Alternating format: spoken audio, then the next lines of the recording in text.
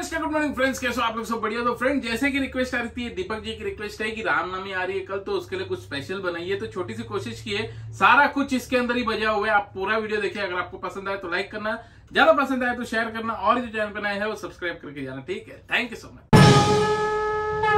much